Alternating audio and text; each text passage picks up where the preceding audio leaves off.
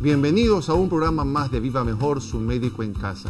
¿Sabían ustedes que las campañas de inmunización impiden la muerte de más de 2 a 3 millones de personas por año? Vacunas tales como la difteria, el tétanos, la tosferina y el sarampión, entre otras. Amigos televidentes, los invito a que sintonicen este su programa Viva Mejor, donde hablaremos de la prevención de muchas de estas enfermedades gracias a la vacunación. Vacunación vital tanto para niños como para adultos, cuando estos lo requieren en cualquier lugar del mundo. Las enfermedades que se pueden prevenir son una amenaza para los niños en cualquier lugar, aunque es menos habitual que en los países desarrollados el desarrollo de enfermedades como tales.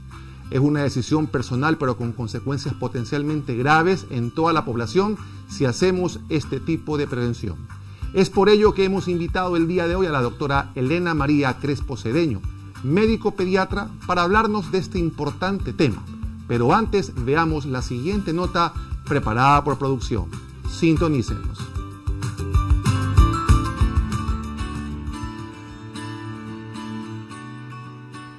Mitos y verdades sobre las vacunas. La vacunación se ha convertido en una de las mejores alternativas para prevenir enfermedades y también para reducir los índices de mortalidad en el mundo. Es preventiva, confiable y en la mayoría de los casos gratuita. Las vacunas le enseñan al cuerpo cómo defenderse cuando microorganismos como virus o bacterias lo invaden. Las vacunas lo exponen en una cantidad muy pequeña y segura de virus o bacterias que han sido debilitados o destruidos. Su sistema inmunitario aprende luego a reconocer y atacar la infección si está expuesto a ella posteriormente en su vida. Como resultado de esto, usted no se va a enfermar o puede tener una infección que sea más leve. Esta es una forma natural de hacerle frente a las enfermedades infecciosas. Los pacientes oncológicos o trasplantados, las personas infectadas de VIH o hepatitis, las mujeres embarazadas, los ancianos y los niños son los grupos más vulnerables, pero todos los ciudadanos deben cooperar para asegurar la salud pública y evitar la propagación de enfermedades prevenibles mediante vacunación. Al vacunarnos, no solo protegemos a nosotros mismos, sino también a quienes nos rodean, apunta la Sociedad Española de Inmunología. En cuanto a sus mitos y verdades, es falso que son 100% efectivas, dado que existe un porcentaje de la población que no genera los anticuerpos necesarios y por ende requiere de otras dosis. Estas personas quedan desprotegidas y pueden contraer enfermedades infecciosas a pesar de haber recibido las respectivas vacunas. Las dosis que recibí en mi infancia no son de por vida. Esto es cierto. La conocida triple bacteriana, por ejemplo, está encargada de prevenir el contagio de las bacterias que produce la tos convulsa, la difteria y el tétanos, entre otras. Esto pierde su efectividad luego de los 10 años, razón por la cual es importante hacer refuerzos.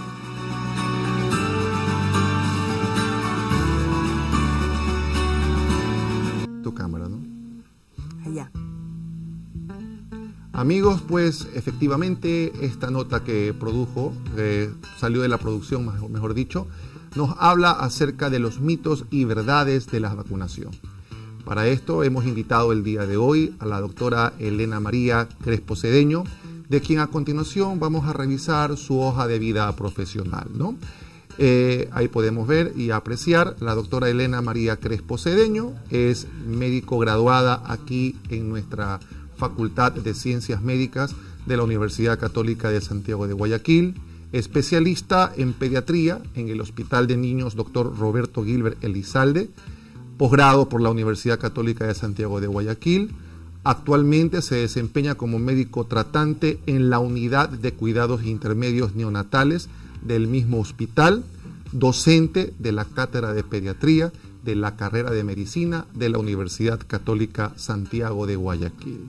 Contactos al teléfono 099-718-5846.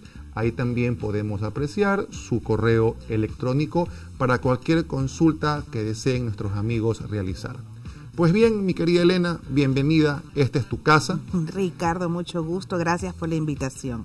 Me alegro que estés aquí con nosotros y vamos a conversar, creo yo, Elena, de un tema que es trascendente, importante y que a esta hora tal vez muchas mamás que nos están sintonizando han de tener la curiosidad de conocer un poquito más acerca de las vacunas. Tú sabes, pues como pediatra, pues que con, las vacuna, con la vacuna, con la vacunación en sí, podemos prevenir muchas enfermedades infectocontagiosas que tal vez hace muchos años atrás eran una epidemia o provocaban brotes epidémicos importantes, pero que ahora se han podido mitigar justamente gracias al advenimiento de nuevas vacunas, vacunas cada vez más sofisticadas, vacunas que generan ahora menos efectos colaterales que antaño. Entonces hay muchas ventajas en torno a las vacunas y vamos a conversar justamente sobre esto de aquellos mitos que todavía están presentes en las mentes de las personas, muchos temores, muchos miedos acerca de este tema. ¿Ok? Para esto entonces te quiero hacer algunas preguntas y bueno, vamos a comenzar por lo básico. ¿Qué son, para que nuestros amigos, amigos, perdón, televidentes, entiendan de mejor manera las vacunas? Bueno, eh, la vacuna es un biológico. Un biológico, es decir, eh, proviene de virus vivos atenuados o de virus muertos o actualmente también de partículas de virus o de bacterias, que es lo otro, que se inoculan o que se administran a nuestro cuerpo para causar una reacción, para que el sistema inmune a quien se está presentando este, este virus, bacteria, genere una respuesta como si fuera la enfermedad, pero sin ninguno de los síntomas de la enfermedad como tal. Y de esta manera eh, nuestro organismo quede, quede eh, fortificado y quede protegido contra esa enfermedad en específico que se está vacunando en, al momento. O sea, estás hablando de que es la administración del virus como tal, de la bacteria como tal o de ciertos productos biológicos derivados de estos microorganismos que lo que hacen es que activan el sistema inmune, pero no provocan en sí enfermedad como tal en la persona. Así es. Lo que tenemos que tener en cuenta es que el virus o la bacteria nunca va a ser en toda su potencia. Por eso nosotros decimos virus o bacteria atenuados. Y o partículas de este mismo que ya sabemos mediante los estudios que hay ahora, que son los que causan la sintomatología y la enfermedad como tal. Nunca ponemos un virus vivo completo, eso no, no, no se hace. Explícanos un poquito mejor, Elena querida, ¿A qué se refiere con el término atenuado para que la gente entienda un poquito más? Atenuado quiere decir que este virus o bacteria no está al 100% de su acción como tal, no está 100%, pongámoslo de esta manera. Activo. Activo o vivo, entre comillas, sino que ya ha sido de una u otra forma eh, condensado para que solamente active el sistema inmune, más no nos cause la enfermedad. Ok. Nuestros amigos, es importante también tomar en cuenta lo siguiente.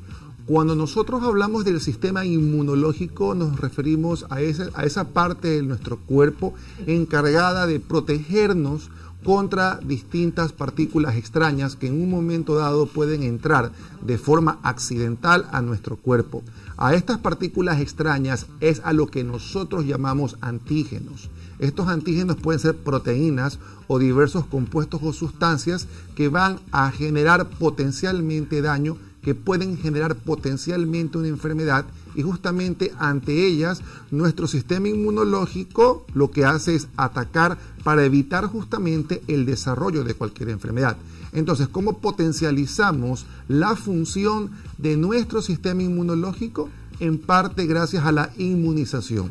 Inmunización proporcionada en este caso por las vacunas. Tengo entendido que es así, mi querida así Elena. Es, así es. Entonces, cuando la gente te escucha hablar de que se está aplicando el virus, se está aplicando la bacteria, tal vez esto genera un poquito de temor en las personas y eso genera también un poquito de reacción o de temor a que muchas personas quieran aplicarse una vacuna. ¿Qué me dices al respecto? Eh, que no deben de tener ningún tipo de temor. Las vacunas que nosotros utilizamos o que hay a nivel mundial son vacunas sumamente seguras que ya han sido probados en distintos estudios, en distintos, eh, en distintos ambientes y que son seguras de administrar.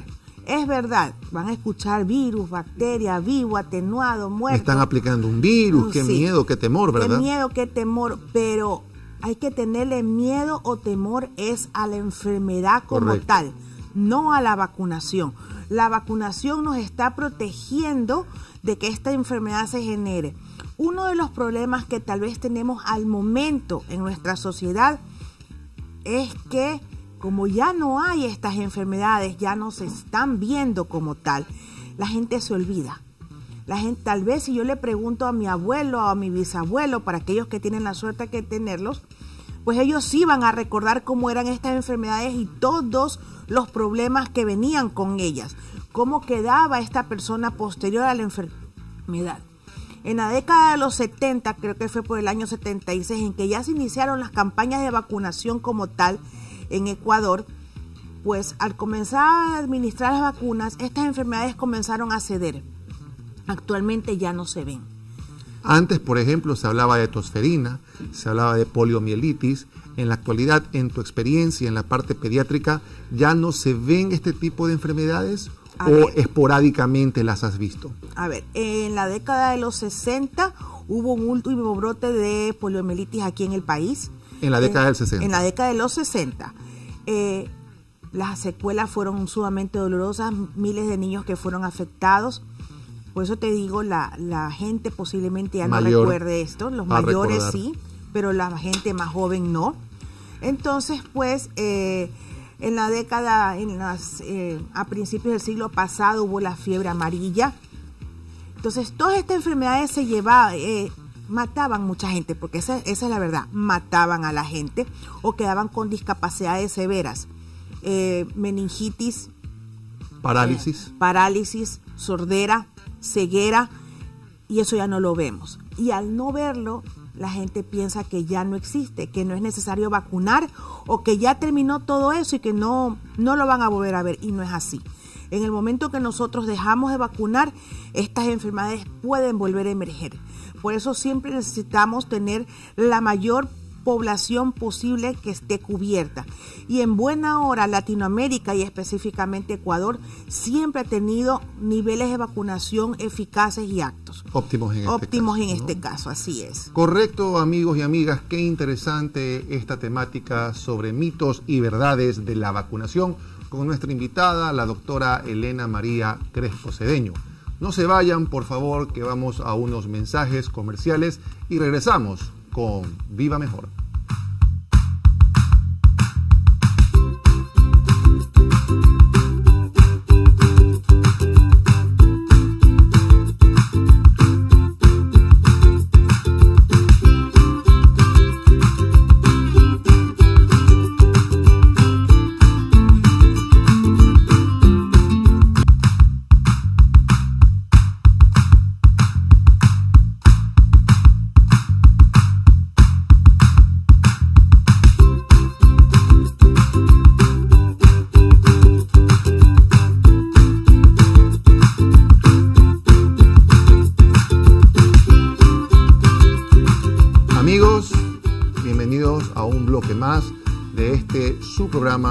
Viva Mejor, su médico en casa.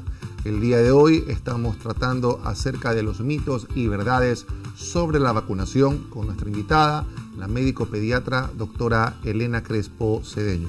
Mi querida Elena, hablando un poquito más sobre este tema, puntualízanos un poco los beneficios como tal que proveen las vacunas. ¿Qué beneficios en sí tenemos al vacunarnos? Bueno, eh, después de la potabilización del agua, eh, la siguiente medida preventiva que impactó directamente a nivel mundial es la vacunación, ¿no?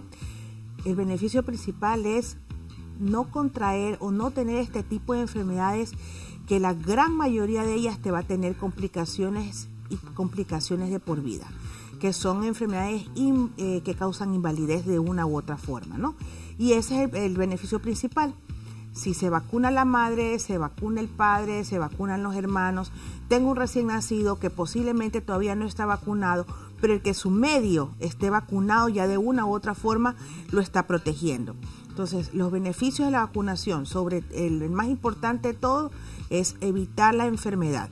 Enfermedades que, como ya te dije anteriormente, eh, sus complicaciones son, traen graves consecuencias.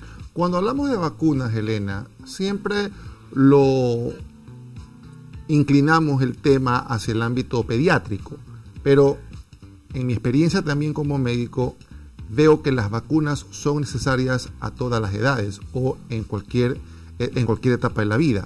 Pero claro, obviamente comenzamos en la infancia porque es la etapa de la vida más vulnerable, en este caso, al desarrollo de muchas enfermedades que claro, si las si vacunas oportunamente o tempranamente, vas a evitar el desarrollo a posterior de la misma y muchas vacunas incluso generan inmunidad de por vida. De eso ya vamos a hablar. Ahora, eh, escuchaba que tú decías de los recién nacidos, de ciertos grupos etarios. Concretamente, ¿quiénes se deben vacunar y cuándo lo deben hacer? A ver, primeramente, quienes deben saber de vacunas somos todos los profesionales de la salud. Así es. Médico general, médico internista, como tú bien dices, el pediatra es el primero porque cogemos al ser humano en sus inicios. Para eso es la pediatría, es el clínico de, los, niños. de los niños, así es. ¿A qué grupos etarios? A todos los grupos etarios, pero sobre todo a los niños que son los más propensos a contraer estas enfermedades y a los grupos de riesgo. ¿Cuáles son los grupos de riesgo? Embarazadas, pacientes con enfermedades crónicas como diabetes, hipertensión, eh, asma. Estos son los grupos de mayor riesgo. Los mayores de 65 años y todas aquellas personas que estamos metidas en eh, el, ámbito, de la salud, el ámbito de la salud hospitalario o centro de salud en ambulatorio, ambulatorios, correcto. Y cuando te refieres, Elena, a embarazadas, ¿las embarazadas pueden recibir todo tipo de vacunas? No, no pueden recibir todo tipo de vacunas, pero hay vacunas que se manejan y que ya se sabe que deben ser administradas a ellas.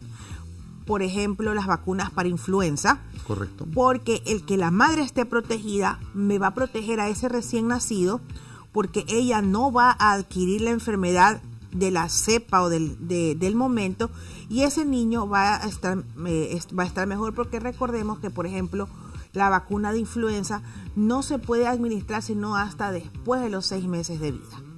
Entonces, si yo tengo una madre protegida, tengo un recién nacido que está protegido. ¿Te refieres que durante la gestación como tal tenemos que esperar los primeros seis meses para aplicar la vacuna en la embarazada? No, La embarazada en cualquier momento, es, Al bebé, es, Al bebé, ah, el bebé no va a poder recibir vacuna para influenza específicamente hasta pasados los seis meses de edad. Correcto. Entonces, si yo tengo a su madre protegida, ella no va a adquirir la enfermedad y por ende ese niño va a estar protegido también. O sea, la protección es para que el niño apenas nazca esos primeros meses en que no recibe vacuna esté inmunológicamente protegido por los anticuerpos que la madre en este caso desarrolló. No solamente por lo que los anticuerpos que le dio la madre, sino porque la madre no va a tener la enfermedad.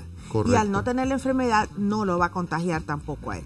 Porque muchos de los bebitos o los niños pequeñitos que ingresan con cuadros respiratorios severos a las áreas de hospitalización de cualquier, de cualquier unidad, generalmente son niños que en su familia han estado enfermos. Y lógicamente, al tener un sistema inmune que todavía no es 100% competente en un niño pequeño, en ellos la enfermedad va a ser mucho más grave que en un niño más grandecito o que en un adulto. Mm, aparte de todo esto, Elena, considero yo que una madre, mientras da más de lactar a su niño, también está ayudándolo inmunológicamente. El hecho de que el niño en los primeros, en las primeras etapas de la vida en las primeras semanas de vida que no puede recibir ciertas vacunas, la lactación que recibe de su madre también es una ayuda inmune importante. Aclárame ese punto.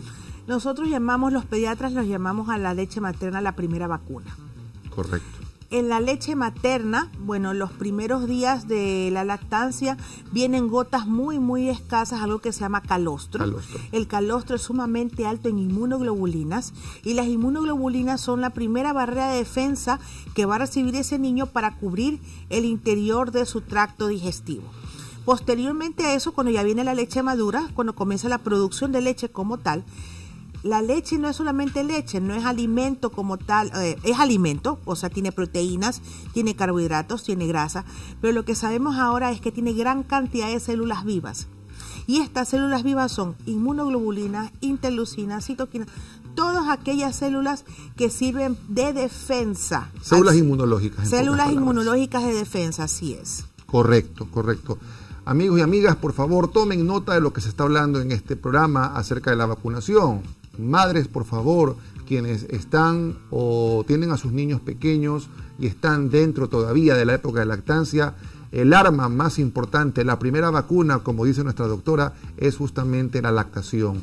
Una buena lactancia materna va a prevenir en su niño, en su niña, el desarrollo de cualquiera de estas enfermedades, que por la edad de su hijo pueden ser potencialmente graves. Así que mamitas, a dar de lactar, a dejarse de complejos, ya que la lactancia previene y ayuda mucho a sus niños. Mi querida Elena, qué interesante todo esto. Ahora bien, la vacuna como procedimiento me imagino que no va a estar exenta de ciertos efectos postvacunales o efectos colaterales.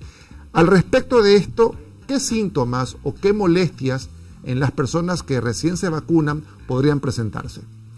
Cada vez desarrollamos mejores vacunas, mejores vacunas que ya no tienen tantos efectos colaterales como teníamos antes. Pero esto no quiere decir que no los van a presentar porque tengo que recordar que estoy enfrentando a mi cuerpo a, un, a una bacteria o a un virus. Entonces mi cuerpo va a tener que reaccionar. ¿Cuáles son eh, los efectos secundarios? Dolor en el sitio de la vacuna, calor en el sitio de la vacuna, enrojecimiento o eritema, como decimos los médicos en el sitio de la vacuna, y fiebre. Esos son generalmente la mayoría de los síntomas que va a presentar un niño o un adulto vacunado.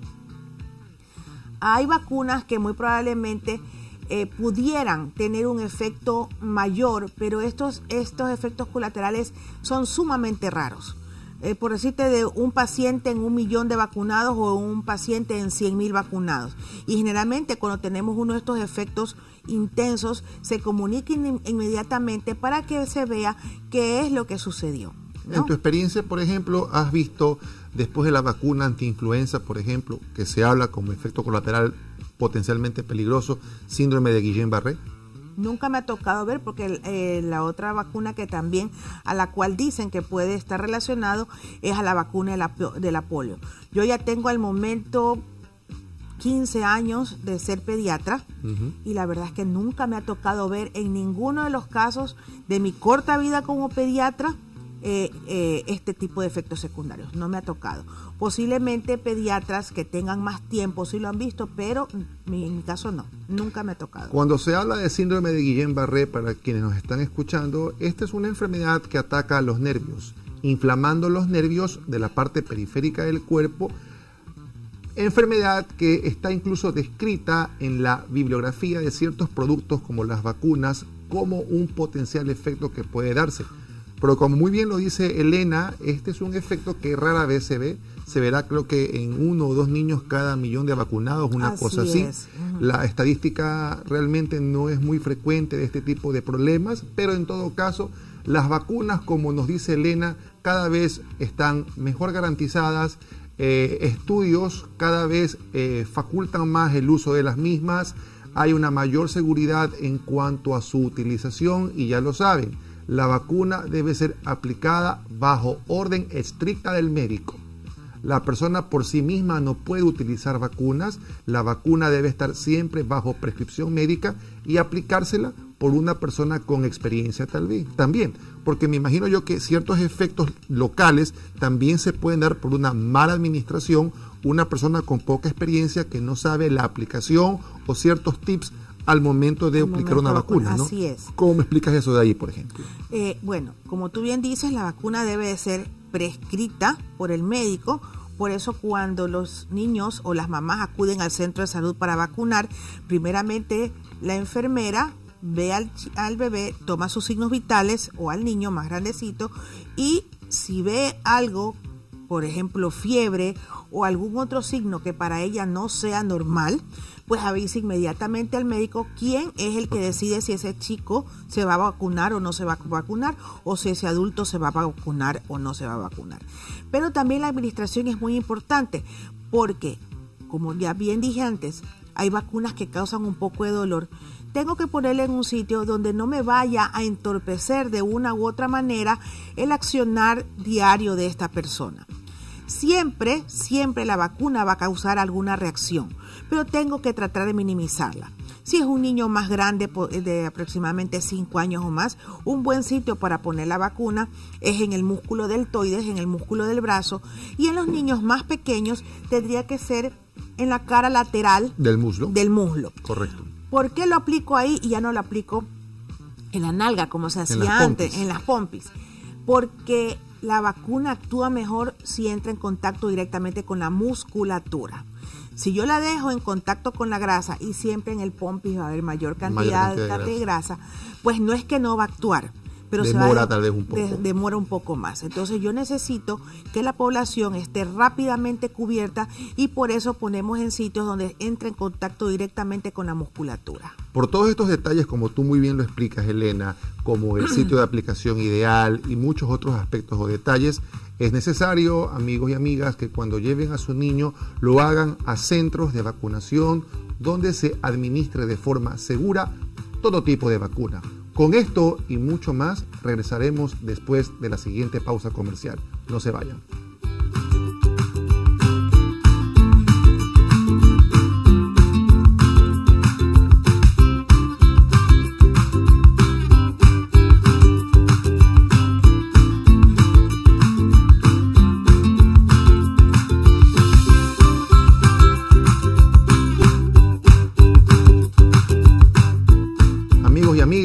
Mitos y verdades de la vacunación es el tema que estamos tratando el día de hoy aquí en su programa Viva Mejor desde el campus de la Universidad Católica de Santiago de Guayaquil.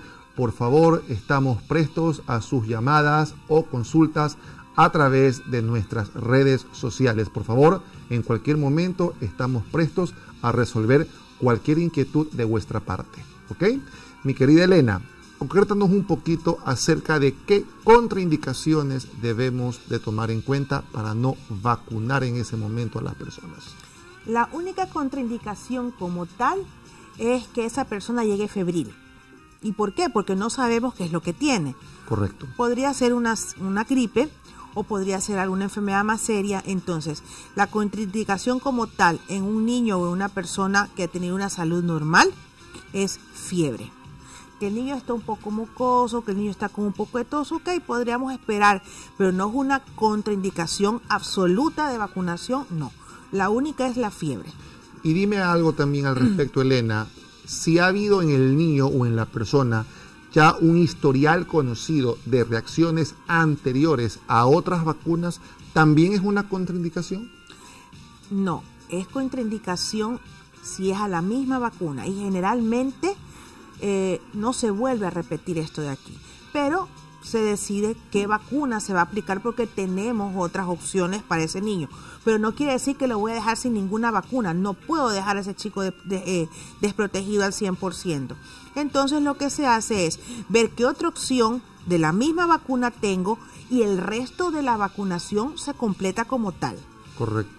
Problemas como antecedentes convulsivos, eso de ahí tampoco, es una contraindicación absoluta para no vacunar. El que el niño tenga alguna enfermedad neurológica o que tenga algún tipo de cardiopatía no es contraindicación para vacunación. Antes, más bien, ese niño tiene que vacunarse porque tengo que tenerlo protegido, porque es más sensible que el resto de la población a contraer o a tener complicaciones. Y ya que hablas de fiebre, la típica preocupación de un papá o una mamá, o de una mamá, perdón. Doctora, doctor, mi niño va a hacer fiebre después de la vacuna. ¿Tengo que aplicarle medicación obligadamente? ¿Qué medicación debo de aplicar o qué medidas tomar con el niño si este, después de la vacuna, desarrolla fiebre? A ver, eh, si el niño desarrolla fiebre, porque no todos lo hacen, correcto, ¿no? Lo más indicado es darle paracetamol a la dosis que el médico le indique porque la dosis depende del peso que tenga el niño. Muy importante ese Así detalle. es. Y de ahí, si hay dolor o hay, o hay enrojecimiento o hay calor en el sitio de la vacuna, lo más indicado es poner pañitos de agua, de agua fresca. Nada más. Es lo único que se necesita. No hay que sobar. No hay que ponerle ninguna crema, no hay que hacer absolutamente nada en ese sitio. Mentol y todo esto No, no, tampoco. no, no, por favor, no. Para nada, para nada. Todos estos, estos eh, este tipo de medicaciones o de ungüentos, lo único que podría hacer, por, el, por ejemplo, en el caso del mentol, es aumentarme el enrojecimiento o tal vez el calor, porque son eh, sustancias que están hechas para vasodilatar, para aumentar la llegada de sangre a ese sitio y más bien el familiar se va a asustar. Correcto, porque va a haber más roja Va la haber zona más de vacuna y todo lo va demás. a haber pues, más ¿no? calor, entonces pues lo va a alterar. Y tú sabes que hay gente que le tiene fe ciega al mentol. Ay, sí. Ese es una, ese Al es un mito también importante que ya vamos a revisar. Nos dicen de producción que hay una nota preparada. Por favor, pasemos a revisarla si fueran tan amables. Por favor, no se vayan, que estamos hablando sobre mitos y verdades de las vacunas aquí en Viva Mejor, su médico en casa.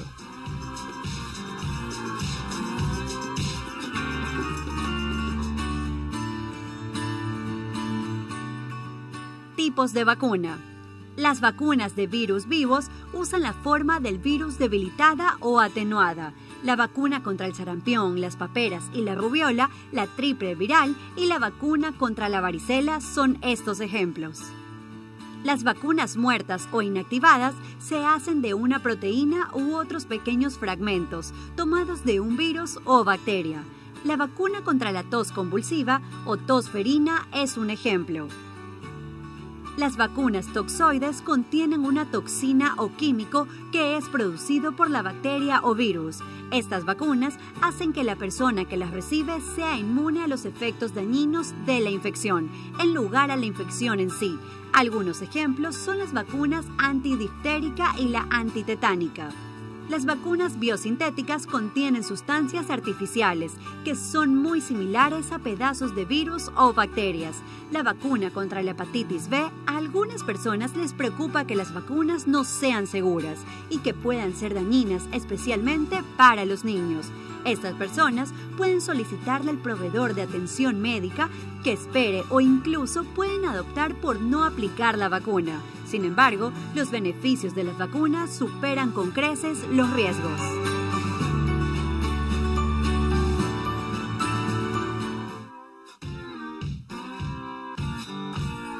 Interesante la nota que acabamos de ver, queridos amigos. Y con respecto, Elena, a lo que estábamos viendo en esa nota de producción, ¿qué vacunas en nuestro país se aplican en la actualidad?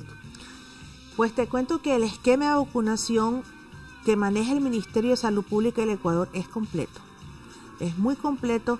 Si mal no recuerdo, son 19 enfermedades que ellos están cubriendo al momento con vacunación y es uno de los más completos de Latinoamérica. Eh, particularmente, también pues el esquema es igual al ministerio. Se maneja el esquema que, eh, que tiene la Escuela Americana de, de Pediatría, pero el esquema de, de sal- del esquema de vacunación del ministerio es excelente. ¿Qué vacunas, si podríamos concretar un poquito, son las que se aplican? Tengo entendido bacilo, dif- eh, bacilo tuberculoso A es la ver, primera.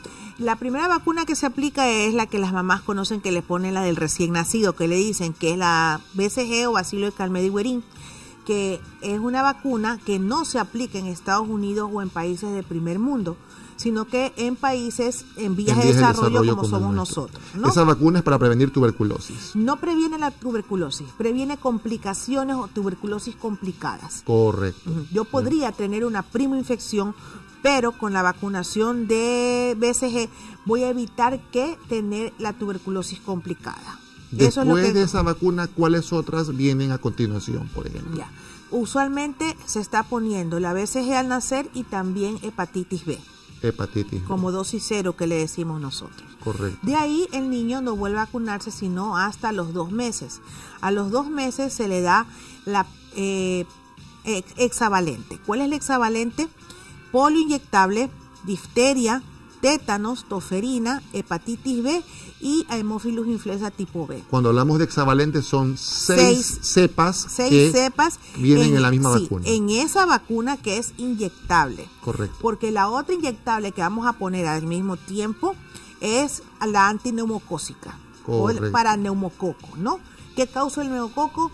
Septicemias, neumonía o meningitis por Meningitis. neumococo, porque tenemos que recordar que meningitis es la enfermedad causada por distintas bacterias. Haemophilus influenzae también tengo También entendido. así es. Correcto. Entonces, y la otra que ponemos a los dos meses, que es por vía oral, es la de rotavirus. Correcto. O sea, son tres vacunas a los dos meses. Sí, dos inyectables, y, una, por vía oral. Por vía oral.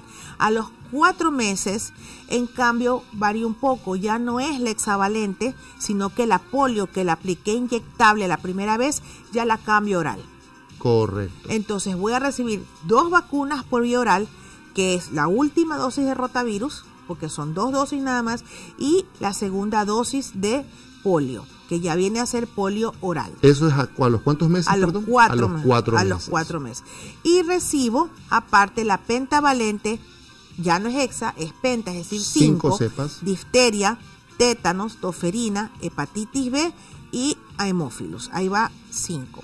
Y a los eh, seis meses, ah, perdón, y al cuarto mes también va la siguiente dosis de eh, neumococo. Correcto, o sea, son dos dosis de neumococo. Así es, hasta el Correcto. momento dos, son tres. Se pone a los dos, a los cuatro, a los seis meses y de ahí pongo un refuerzo de neumococo a los 15 meses o al año y medio.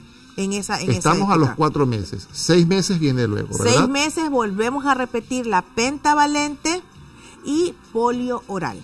Ahí ya terminó rotavirus, fueron dos y cuatro meses. Ya no tengo que recibir otra dosis de rotavirus porque ya completé el esquema. Lo que uso ahí es la pentavalente que es inyectable, la siguiente dosis de, de antineumocócica y polio oral. Hasta los seis meses. Las mamás piensan que es mucho, ese es uno de los problemas que hay, que piensan que son muchas vacunas, sin embargo es la mejor manera de cubrir a la población haciendo eh, eh, vacunaciones polivalentes y además de eso molesto menos al niño, Menos pinchazos, menos pinchazos, que es lo que más que es lo que más molesta más la hora de la molesta. hora. ¿no? Así es. El hecho de que sean, Elena, muchas cepas en una sola vacuna, ¿eso no genera la posibilidad de más efectos adversos? No, no, las vacunas ya están probadas, el fe- efecto adverso es igualito. Igual, no hay sea ninguna una cepa o sean múltiples cepas las que tú Así aplicas es, en un momento así dado. es.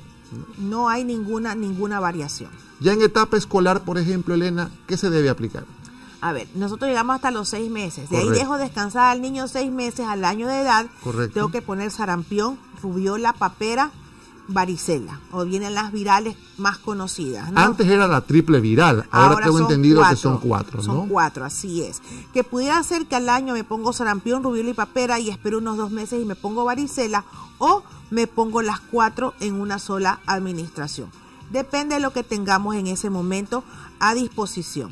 Y de ahí vienen los refuerzos al año y medio. A los 18 meses se ponen los refuerzos de lo que yo le puse a los 4 y 6 meses al niño.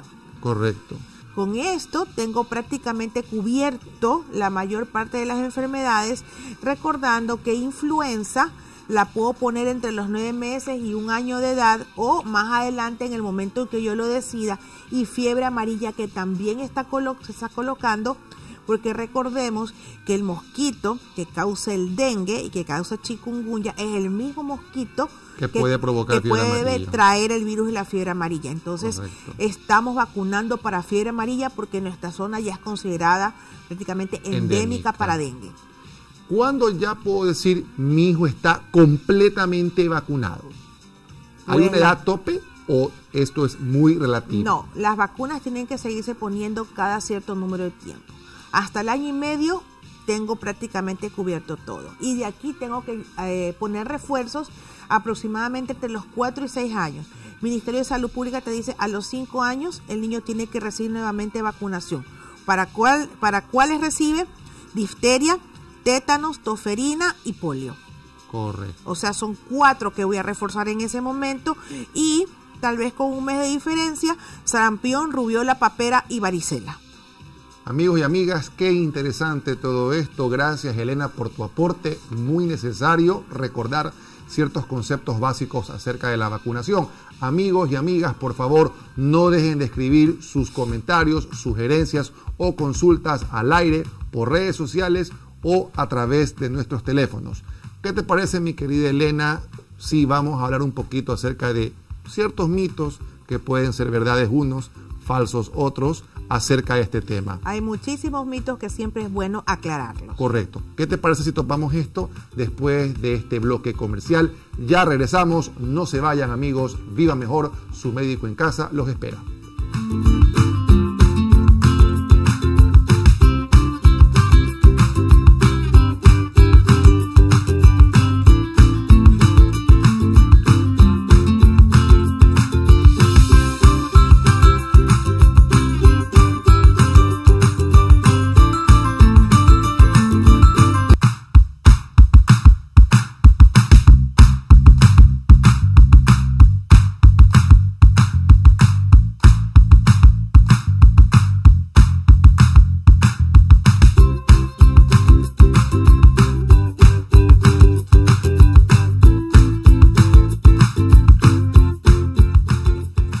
Y verdades sobre la vacunación, amigos y amigas, es el tema que estamos tratando este día aquí en su programa Viva Mejor, su médico en casa. Nuestras redes sociales esperan cualquier tipo de comentario, sugerencia o consulta que ustedes quieran hacer en cualquier momento. Bien, Elena, como te decía en el bloque anterior, hablemos un poquito acerca de ciertos mitos y verdades, ¿no? Si producción, por favor, nos puede ayudar con el primer mito para responder, les agradecería bastante. Ese mito nos dice, solo se deben vacunar los niños pequeños. Esto ya lo dijimos de una manera u otra, ¿no? Así es. Toda la población se debe vacunar. Niños pequeños, que son los que inician vacunación, los escolares, los adolescentes, los, las personas en edad eh, eh, adultas, en edad laboral y la población anciana también tiene que vacunarse. Claro, sobre todo influenza, neumococo en personas mayores. En personas mayores, de así 65 es. Porque recordemos, a pesar de que ese no es mi campo de, acción, eh, su sistema inmune tampoco ya no es 100% competente y si llegan a contraer cualquiera de estas enfermedades, pues en ellos es mucho peor que en la población. Es tan peligroso como en los niños Así es. y el sistema inmunológico, acordémonos amigas y amigos, pues con el envejecimiento también tiende a alterarse un poco y predispone al desarrollo de muchas enfermedades que en épocas pasadas o en ciertas, en, otras edades de la vida no se ven. Correcto, mi querida Elena. Vamos con el siguiente mito, por favor, que dice así. ¿Las vacunas hacen daño? ¿Alteran nuestro sistema de defensa? Creemos que no, ¿verdad? No, ese es uno de los mitos más grandes que hay. Sobre todo eh, en esta última década, donde ya el familiar pues se dedica mucho a estar viendo en internet, en cualquiera de las de los de los buscadores información. El problema es que se meten en sitios donde no están calificadas las personas y que emiten cualquier tipo de comentario. Y es uno de los más eh, graves problemas que estamos teniendo para la administración de vacunas. Y lo peor de todo es que confronta al paciente que viene leyendo algo de internet desinformado, a veces es difícil. Así es. Ellos están expuestos a mucha información, pero siempre tenemos que recordar que la información depende de quién la esté dando.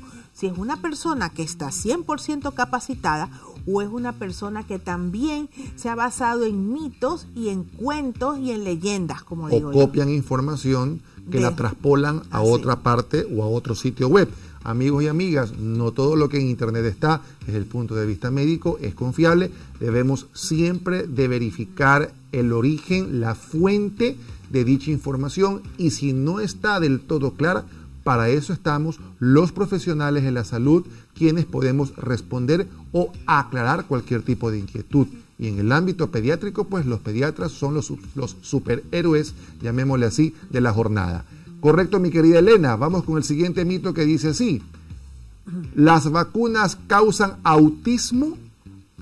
Otro mito que también tenemos que desmentir ah, en la década pasada, pues esto, esto, empezó más o menos hace 10 años, comenzaron a haber versiones, inclusive había un médico que apoyaba la idea, sin embargo, esto fue desmentido. Primeramente, esta persona no tenía ningún tipo de aval para hacer este tipo de afirmaciones y posteriormente en cada uno de los estudios multicéntricos que se hicieron, se desmintió totalmente que hubiera eh, relación entre las vacunas y el autismo. No hay tal asociación. No existe tal si nos asociación. ¿Puedes hablar un poquito acerca de qué es el autismo para que nuestros amigos entiendan, por favor? Bueno, esto entra más en el ámbito de la parte psicológica. Sin embargo, un niño autista, dentro del autismo tenemos mucho, una gran variedad, pero es un niño o una persona que de una u otra manera tiene problemas para eh, enfrentar la sociedad, tiene problemas para relacionarse con otras personas. Socialización en este Socialización.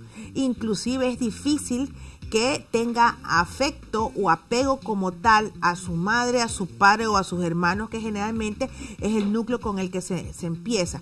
Es una dificultad que tiene para relacionarse con el resto o para aceptar cómo se mueve el medio alrededor de él. No es una enfermedad como tal, es una alteración del desarrollo. No son chicos que estén incapacitados, porque con una buena educación y con una buena guía, estos niños poco a poco se van incorporando a la sociedad. Tal vez con alguno que otro limitante o uno que otro problema, pero que bien eh, informado y bien guiado y encaminado, no va a haber ningún problema. Correcto. Te cuento que el siguiente mito que viene me causa un poco de risa y me imagino que alguna vez te lo han de haber dicho o consultado, ¿no? Dice así, si mis vecinos se vacunan, ya yo, yo ya, mejor dicho, no necesito hacerlo. Hay algo que se llama inmunidad de ato. Es decir, se supone que si yo tengo al 80% de la población vacunada, pues ese 20% que me queda eh, descuadrado, rezagado, de una u otra manera, va a estar menos expuesto a contraer la enfermedad. Pero no es que está protegido. Si por esas cosas o azares del destino se enfrenta como tal a la bacteria, virus, o sea, el sistema de defensa, por ejemplo. Su sistema de defensa no va a tener cómo responder. Perfecto. El siguiente mito, producción, si nos puede ayudar, por favor, dice, si me vacuné siendo niño, y esto también ya de una forma u otra se lo dijo, ¿no? En el bloque anterior, ya no necesito hacerlo de nuevo. Bueno, hay vacunas, ciertas vacunas que proporcionan inmunidad de por vida. Hay otras que tal vez a los 10 años de su aplicación ya debe aplicarse nuevamente. Tengo entendido que la hepatitis no da inmunidad permanente. No, son cada 10 años. Que Correcto. ¿Qué vacunas, por ejemplo, ameritan un refuerzo ya en la adultez, por ejemplo? Pues una de las que estamos teniendo mayor problema porque nosotros, o sea, los adultos, somos como quien dice, el sitio donde se almacena es pertusis, bordetela pertusis, es decir, difteria tétanos. Correcto. Esta vacuna siempre tengo que estarla eh, reforzando, por lo menos cada 10 años porque nosotros nos hemos vuelto reservorios, tal vez no presentamos la enfermedad, pero esa persona que es reservorio frente a un niño pequeño lo contagia y tenemos niños pequeños de 1, 2, 3 meses ingresados con tosferina. Bordetella pertussis es la bacteria que causa la tosferina o la tos convulsa como se conocía también anteriormente. Correcto. Y con respecto al Corina Bacterium diphtheriae, ¿has visto casuística últimamente o ya no? No, no tenemos otros casuísticas. Sin embargo, hace aproximadamente unos cinco años, si mi mente no, no, me, no me traiciona, en España hubo un brote, o mejor dicho, no hubo un brote, fueron un niño que contrajo eh, difteria, no se veía en muchísimos años, se demoraron inclusive, tuvo que venir, si mal no recuerdo, de Rusia el tratamiento para este chico, porque pertenecía, este niño pertenecía a ese grupo de padres que se negaban a vacunar, que estaban mm. en estos movimientos antivacuna. Mala suerte. O sea, nadie estaba buscando que al niño le diera la enfermedad. Pero recordemos que en España y en todos los países europeos que dan hacia el Mediterráneo hay una gran población migrante que viene desde África. Y ellos no tienen a veces esquemas completos. Este niño se expuso, este niño se expuso a esto de aquí y eh, bueno, lastimosamente este bebé falleció. Ah, falleció. Sí, esta niña creo que tenía cinco años, falleció. ¿Esto sucedió dónde, perdón, Elena? En España, como hace unos cinco años, si mal no recuerdo. Me imagino que fue reportado. claro que sí, esto fue un reporte que se hizo a nivel mundial, por eso te digo que lo leí, y aparte de eso, su hermano menor no estaba vacunado. Entonces la familia en ese momento se dio cuenta, es una muy mala, una muy mala experiencia, pero ya llevaron al otro hermano a vacunar. Una muy mala decisión, por eso les decía al inicio de este bloque, la decisión a fin de cuentas es personal, pero qué trascendente e importante es hacer conciencia justamente de esta temática sobre la vacunación. ¿Podemos hacerlo? Podemos no hacerlo, pero más son las consecuencias letales o fatales que podrían darse. Y por favor, como bien lo dijo Elena, tengámosle miedo a la enfermedad como tal, no a la vacuna, no a los efectos colaterales que son pasajeros y son tratables perfectamente. Por favor, amigos y amigas, vamos con el siguiente mito, por favor. Dice así, las vacunas son 100% efectivas. Bueno, lastimosamente no todo en esta vida es 100% efectivo. Sin embargo, eh, sí pudiera haber una pequeña parte de la población que no reacciona o no genera la suficiente cantidad de anticuerpos. Por eso tratamos de como tú verás, no es una dosis de vacuna la que se pone, sino son algunas para ir exponiendo y ir haciendo que el organismo genere eh, respuesta inmune, es decir, genere anticuerpos. Pero siempre queda un pequeño porcentaje de la población que a pesar de la, de la vacunación no genera la suficiente cantidad de anticuerpos. Pero lo bueno es que si el resto está eh, vacunado, pues él tiene esta persona que generalmente no sabemos cuál es cuál reaccionó, cuál no, va a estar protegido. Correcto, muy bien. Qué interesante todo esto, amigos y amigas. Por favor, vamos con el siguiente mito. Por favor, producción, si me puede ayudar al respecto. Dice así, las vacunas ya no son necesarias porque las medidas higiénicas han mejorado o ya han desaparecido las enfermedades para las que se usan. Justamente lo que te comentaba en el bloque anterior nuestra población ya no tiene recuerdo de esas enfermedades, porque en, efecto están desapareciendo. Ecuador ya no tiene polio, Ecuador no tiene alguna, ya están declarando sarampión, posiblemente se declare que ya no hay, erradicada como tal. Viruela hace muchísimos años que no hay, eh, así como a manera de comentario, sé que mi papá y mi mamá están vacunados contra viruela, pero y el resto la, de, y el resto de la población no. Entonces, pero el hecho de que yo ya no veo una enfermedad no quiere decir que no me tengo que vacunar. Las medidas de higiene nos han ayudado, lavado de manos, agua potable, mejores instalaciones, todo eso colabora, colabora a que estas enfermedades no se presenten. Pero mira lo que te estoy diciendo. Hace poco en España, que tiene un muy buen sistema, una niña, un sistema sanitario muy bueno, una niña que va a su escuela normalmente, que eh, tiene un buen, eh, una buena alimentación bien cuidada, un nivel contrajo una enfermedad para la que no estaba vacunada. Entonces, las medidas higiénicas son favorables, son necesarias, pero eso no indica que no deba estar vacunada la persona. En pocas palabras, toda medida higiénica no es el 100%. Así a eso vamos. Así como no toda vacuna posiblemente reaccione el 100% de la población vacunada, pero voy a estar bien cubierto por los dos lados. Mi querida Elena, agradezco tu presencia en este programa el día de hoy. Amigos y amigas, muchas gracias por vuestra sintonía. Nos estamos viendo en una próxima emisión de Viva Mejor con este y otros interesantes temas con respecto a la salud. Muchas gracias, soy el doctor Ricardo Loaiza, su amigo tras las cámaras, quien se despide y les dice hasta un nuevo Viva Mejor.